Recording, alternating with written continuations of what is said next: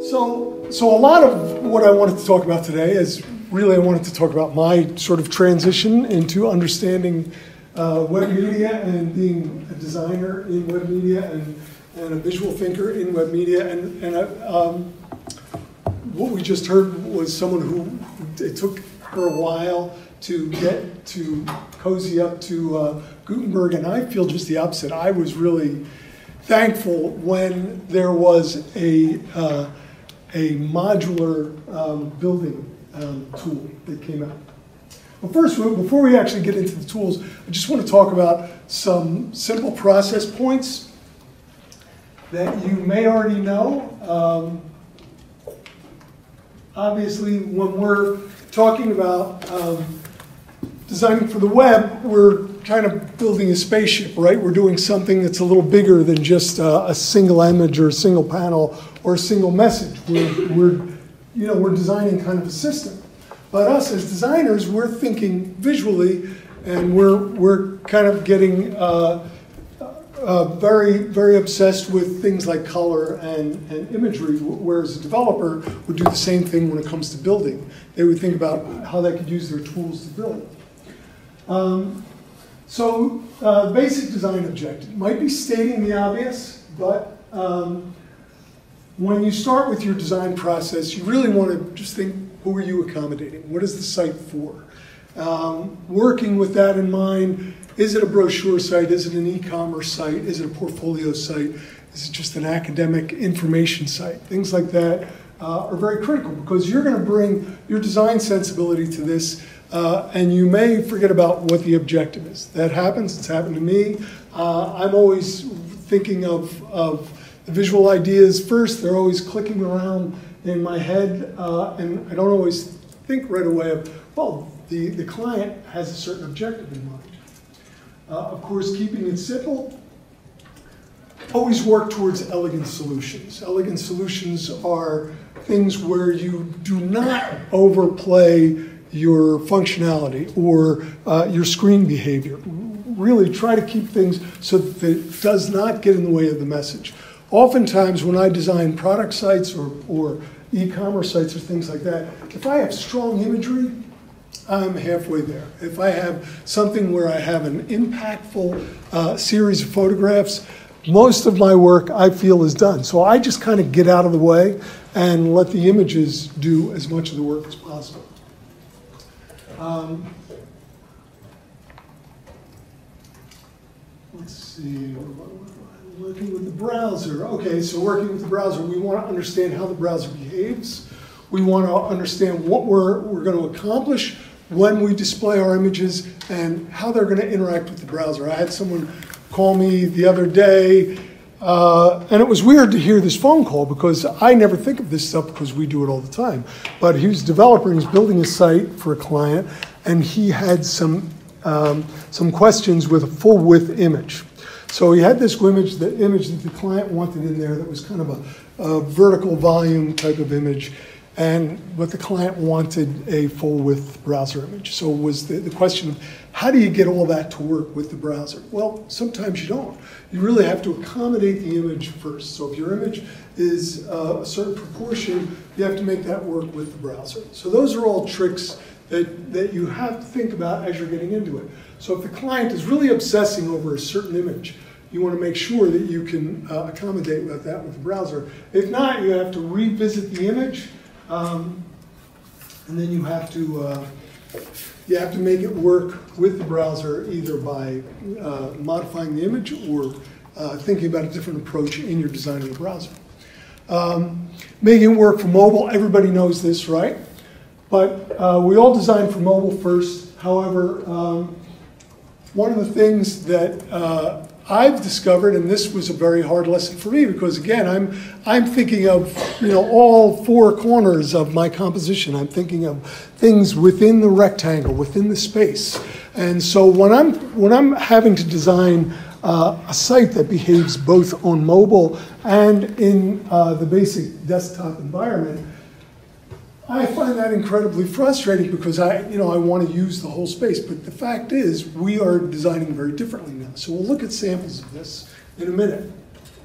Um, uh, designing for your clients. Of course, we're designers, right? We want to think about the artistic objective. Uh, the client wants to think about how many units they can move.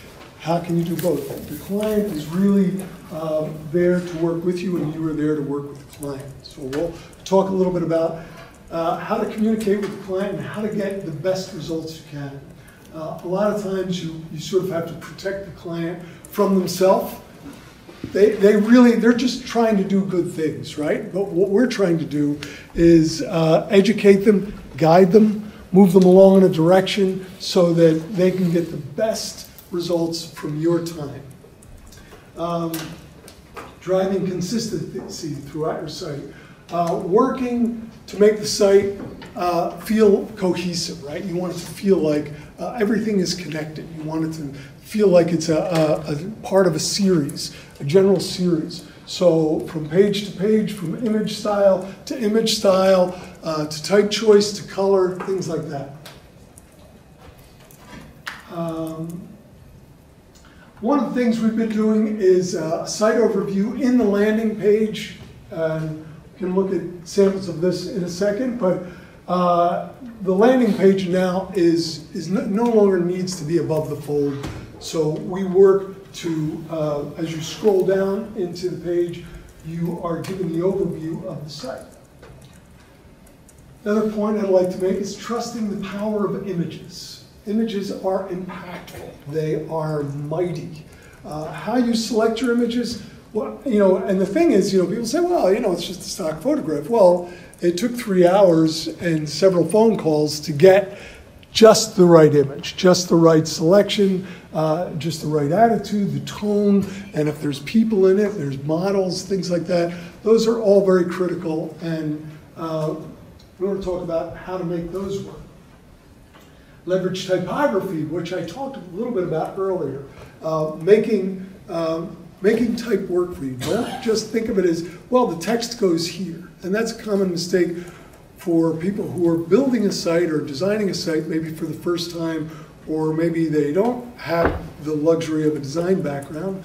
Uh, typography is always secondary, or sometimes completely falls off the table and just kind of uh, parked in a convenient spot.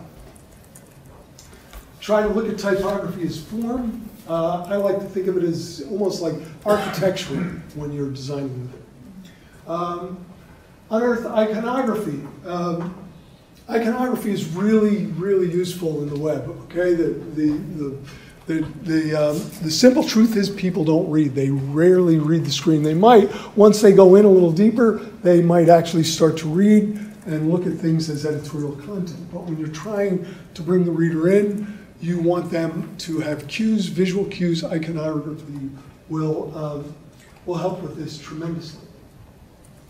Um, the constant search for new tools, which is part of what we're here for, right?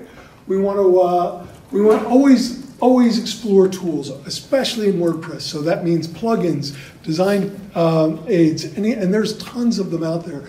Uh, if we had more time, I would love to, to cover as many of these. In fact, what I would like to do is put this out to everyone who's in this room to tell me how they, what tools they like to use and how they use them.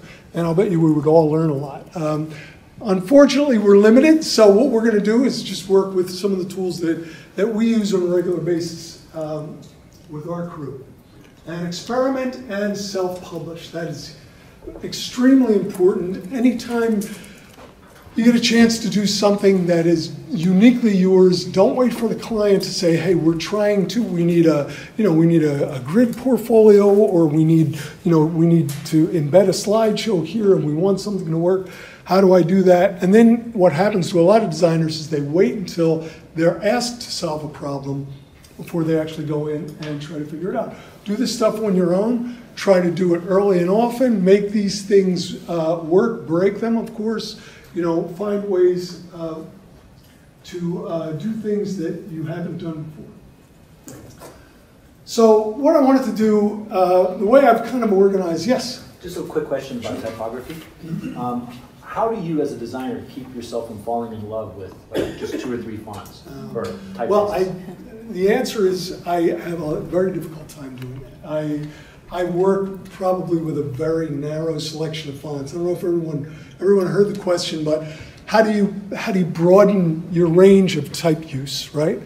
Uh, typography is is extraordinary stuff, and um, you know people spend hours and hours of time, you know, crafting a character, and sometimes they're just they're just so beautiful. But um, what I find myself doing is I tend to lean on the same for. I used Univers for about 11 years straight, and I didn't really stray from that. But I, I had to force myself to to like pick up that serif typeface, whatever. Things like typography. Um, there's going to be a few go-to fonts that you have, and as well you should. You know, you want to use them uh, in a way that you feel confident with. Um, but again, one of the things that I learned from from teaching was that the students that I was working with, they were using all a whole different range of fonts, and they were finding stuff that they um, that I would never have chosen, but they, they got great results. So the thing is, you get you tend to get very narrow, but you just what you have to do is just try it and give it a chance, and then and if the client likes it, maybe you know you're halfway there. Um, all right, so I, I wanted to talk about the process a little bit. Um, you know, I, I could talk for hours about this this whole subject. You know, processes and tools is an expansive subject that we can really get a lot of leverage out of. Um, but what I wanted to do is just talk about some basic tools. So when we're designing, right? So we I, I have a little studio in South Philly called Row House Studio, and there's three of us, and we're all designers, and we lean heavily on on certain tools. Um, some tools we buy, some tools we get for free. Uh, but we're always trying to find things out that, that we like. Um, so, of course, the first uh, the first thing we do, we do we do a lot of work for different clients. Some of them are yeah. some of them are corporate clients. Some of them are small businesses. We do a lot of work for Penn and Wharton, um, and that has its own little sort of uh, way of, of happening. Uh, but one of the things we'll do is we'll, we'll start by um, working with um, sketching out the site, right? So here, this is a this is a site that's that's uh, we're doing for Wharton. It's a monstrosity of a site, right? It's enormous, uh, and they we our our whole process was trying to wrangle this site.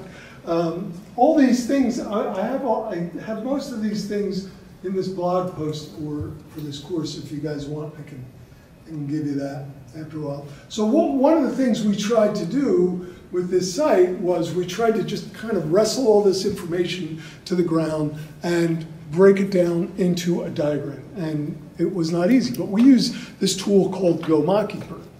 Um, they give you a free, they do give you a free version. I think you might get one, you can get one project. I, I have, uh, I think I have a package where I can do three projects at a time.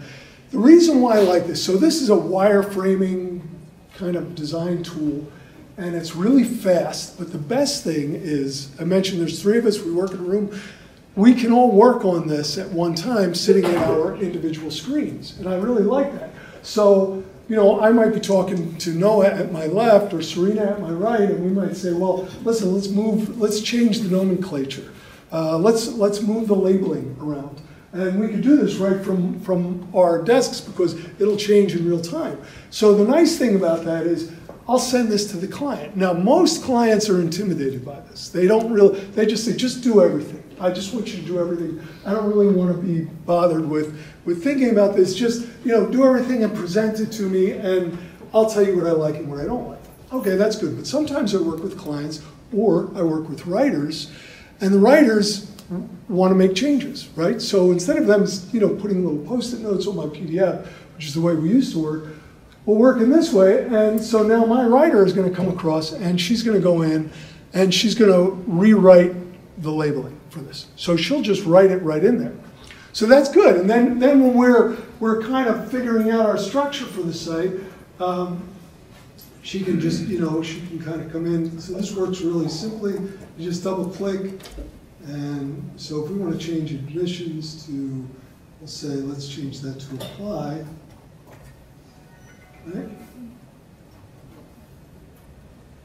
So now it's been updated in real time and we can all work on this together. So this is a really good, we get really facile with how we kind of break down our diagrams.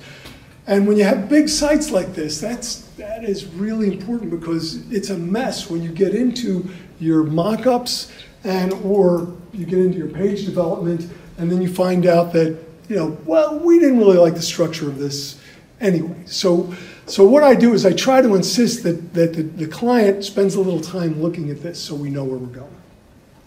Um, then once we kind of wrap that up, we move to another tool that I really like. This is called Slick Maps. I don't know if you guys have seen this yet. It's really just a CSS, and it's free. Um, you just go to, uh, if you just do a site for uh, a search for Slick Map, you'll find that this guy has been posting this for many years. It's really great.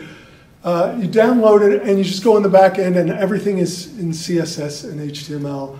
And so you can, you can get this all together and then just upload it to a site. And then you can present the client with a very you know, finished looking um, uh, diagram. Now, of course, we could do this in Illustrator. We've all done that. Uh, actually, I like to work in InDesign. I feel much faster in InDesign, uh, but Illustrator is good too. But for the, the nice thing about this is that it's live and it's online. And again, it's one of those things where you can make changes to when the client's looking at it. Um, some other tools I like to, to work with, this is a tool called Xscope. Has anybody used Xscope before? Uh, Xscope is really, it's a great screen tool. Um, is that for me? Yeah. Oh, really? We're that, we're that, Yeah, we're running a little short on time. Oh, okay. Sorry. oh man, I'm gonna have to do this really fast. Okay, Xscope, great tool. Uh, you can, all these are all uh, screen tools that you can actually measure on your screen. Has anybody ever tried to do that? You kind of just you know, put a ruler up on the screen and see. Yeah. So you can do all these, get all these dimensions. You can you can find out about text. You can find out about colors. Great stuff, right?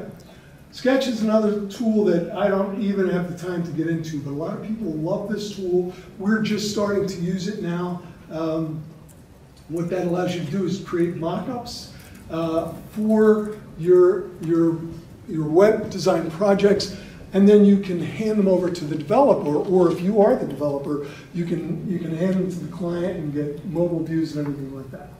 All right, um, I'm going to work quickly here. Um, so content and ideas, right? We, uh, we all, uh, while you're designing, you want to populate your site with content, right? What kind of content do you want to populate with? Images, uh, copy, iconography, um, brands and brands of the world. Those are pretty common websites. I'm sure you guys have seen those. This is kind of cool. It's you know you can you can download you know common household names, brands through vector files, things like that. Great stuff. Um, the other thing that I wanted to mention, one of my favorite new tools is the Noun Project. Has anybody heard of the Noun Project? Great stuff, right? This is really, this is like, this is gold to me because remember I was telling you about icons and using icons in your design. So you can get a free version of this, but you can search for your icon and it'll bring it, you know, so let's say you want an icon on, you know, networking. So it'll give you a series of icons. You can download these in an SVG file or a PNG file. Uh, sometimes I'll use this just for ideas. So this is a, this is really a breakthrough. I mean, when you think about you know design, like when we used to research design, we would spend hours just you know scouring you know design publications and image libraries. So now the fact that you, you can just kind of pull stuff up and look at it is pretty amazing. So that's the noun program. There, there's other things like that for icons, but that has by far been my favorite. Um, all right, so color, like tools that I like to use for color. Um, so when, I'm, when you're building for the web, right, you're always thinking of hex colors. Make use of your color scales and um, a lot of your, your hex colors can be found here. I find this to be much faster than just trying to, you know, uh, go into uh, a palette, pick a color, and then refresh your screen. I like to kind of work with this. W3 Schools also has one of these, if you guys are familiar with that. This is a really good one. Actually, the thing that I like most about it, um, I use a lot of really soft grays. Uh, Oftentimes, when you want to distinguish between, you know, panels in your website, you want to kind of uh, separate them with just subtle changes. Remember, elegance is one of the things we're after. So I may just look at various uh, versions of soft gray or white. All right. So that brings me, we, we can, we can talk forever uh, about color, it's a great subject. But what I wanted to do is talk a little bit about some of these uh, page builder themes. So one of the things we started using this last couple years, I think, and we're, we're, we're still sneaking up on Gutenberg, but we're not quite there yet. We've been using a, a page builder called Divi. Um, Wharton, we, which is uh, one of our clients, uses a page builder called Visual Composer. Um, it's okay. It's a little wooden, a little bit stiff. Again, we're designers. I count on the developers to do all the heavy lifting, and then we kind of come in and just make use of their tools. Uh, we use Divi because it's a modular uh, design interface, and if you're a designer, you love that stuff, right? So um, check it out. I, I think I have a. Um, I have. Where is my?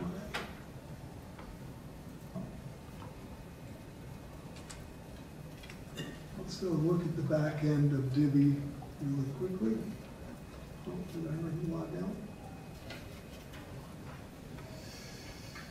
Okay, hold on one second, stay with me. So, uh, does anybody else use page builders? They like, any, anything strikes your fancy? Um, I use Beaver Builder. Beaver Builder's cool, I have that on my list. Um, Yeah, I, I, we, we've been using this mostly because we're, um, we're familiar with it. The other reason I like Divi is because the guy who, uh, who, who devised it really, uh, uh, is a, I think he's a very talented designer. So out of the box, it looks pretty good. You know, the type is, is, all the decisions are kind of made for you. But that said, there is a tremendous amount of uh, leverage that you have in this in, um, in all aspects of this. So uh, if we're just looking at pages, so we can look at, uh, let's look at our home page. Now this is just uh, our, our studio site. So the, the thing that I like about it is that, so this is your back end, right? So you can, you can label everything, it's all done in modules. You set up rows, you drop in images, uh, and then, then each item that you use has a very nuanced set of tools that will allow you to make modifications however you see fit. So when I was telling you earlier about um, giving your overview on the site, uh, allowing the user to get into various places on the, within the site from the homepage, um, this is one of those examples. Another thing that we do, uh, so um, let's see, we can, if I can find this. uh,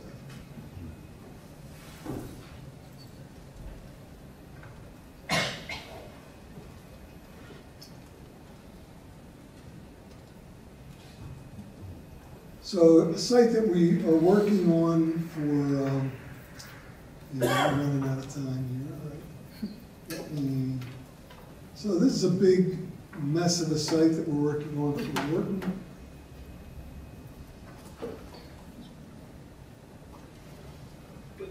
A lot of times, um, what we'll do in sites like this is we will just create these very deep scrolls that have panels that will get you into the site. Now, when we actually, I don't know if, uh, it's not gonna let me get there now. All right, I'm gonna move on from this, let me go back to, here's one that we did for, uh, so again, a lot of times we're just working, now this guy, this guy's a sculptor, and he gave us gorgeous images, so we did very little. We, we just really worked with the power of his images And um, that got us where we needed to go. Is that built with Divi? These, these are built in Divi, yeah, right. Um, So again, this is another site where it's just a lot of, this is a product site. Um, This is kind of, this woman just has a a little kind of homemade craft business. But we just really, really just work with photography, things like that. Another tool that we like in Divi, or I'm sorry, in WordPress that I should mention, is uh, all-in-one migration. So what we'll do is we'll diagram the site, sketch it out, um, develop it, get it as close as possible to where the client can look at it and think about it and make comments.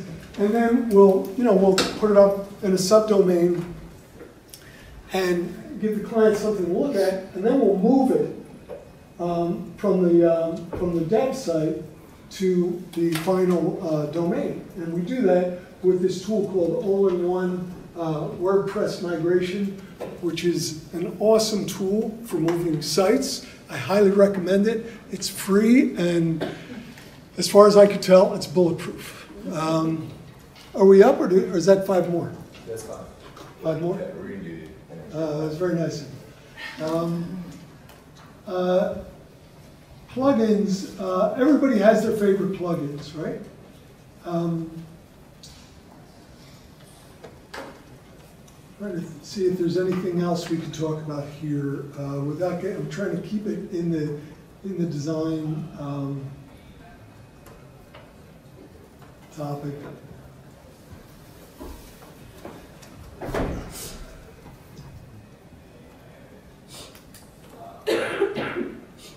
These are things that most people already know about.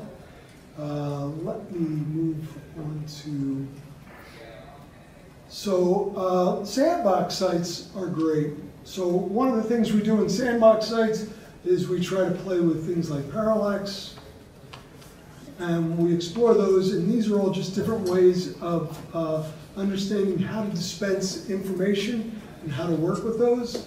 Um, some other things that we like to do is, uh, so here's a site that we just did for a client, and we'll just show you this. So this is a design client of ours. They have a little design studio. They wanted us to build their site. So one of the things that we did was we worked with um, just a range of dividers, like ways of dividing up their panels. So thi- this is their portfolio site. And all we really wanted to do was just have this series of panels that flows by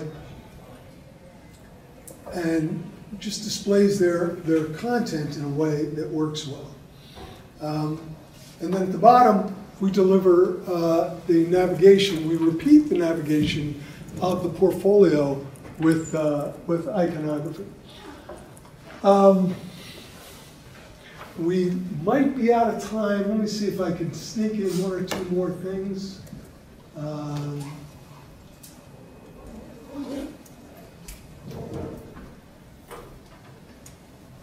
All right. um, Let's see, I think that, that's probably gonna do it for at least my, my presentation. Are there any, any questions, anything you guys like to talk about? Is anybody, uh, is there, are there tools that somebody uses that they like better than something that we just showed here? Does anybody use a, uh, any kind of a mapping tool or a diagram tool that they'd like to talk about? Uh, Well, I was gonna say, we use Lucidchart a lot, but I like the look of this Mockingbird a lot better. Yeah, it was, it's, it's so easy. The thing that I like about Mockingbird, and one of the things that I didn't get to show you was, um, on, on Mockingbird, you know, you, you have this whole set of elements, and you just kind of pull them in. And, you know, it's, it's all the things that really work with, you know, so obviously we use a lot of these, these kind of panels here when we're doing our diagrams, and then you just drop your type in. And again, the, the nice thing about it is that you can work with um, your team as you're doing it, or you can work with your client as you're doing it. Yes, sir. Uh, I got a couple tools uh, that I kind of always go with, um, even if it's like building themes, or if you're just using like a vanilla theme. Um, Sometimes you you find like your post types or you want to create custom post types or Right. like fields on Right. page. Uh, Two plugins that I use is Advanced Custom Fields. Um, they have a Advanced free- custom fields, yeah, we use that as well. But Yeah. if you want to create repeatable, it's a, it's paid, but it's a really great tool. You pay once, I think, and it's free forever. Huh. Uh, and the second one is just custom post types. It's really good to spin up, custom. Yeah, no, that, that gives you great range. I, I mean, a lot of the times we will, we'll use this stuff. The reason why we like it is we'll work really fast and, and loose. And that's why we kind of like this stuff. So this brings us back to working as designers. When I first started building websites, I didn't really like the counterintuitive aspect of it because we just wanted immediate results. And when you build, it has to be done in this process that's a, a lot more deliberate. Yes?